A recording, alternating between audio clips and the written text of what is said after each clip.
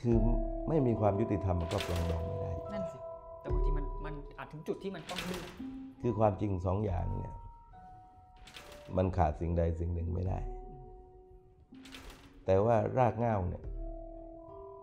ต้องแก้ไขที่ความยุติธรรม เมื่อยุติธรรมแล้วความปรองดองก็จะเกิด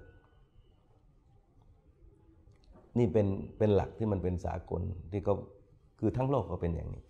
ถ้าเราทำให้กระดานปลองดองเนี่ยมันมากกว่าเรื่องนิรโทษได้ไหมนะฮะเช่นทำให้บรรยากาศของการสนทนากัน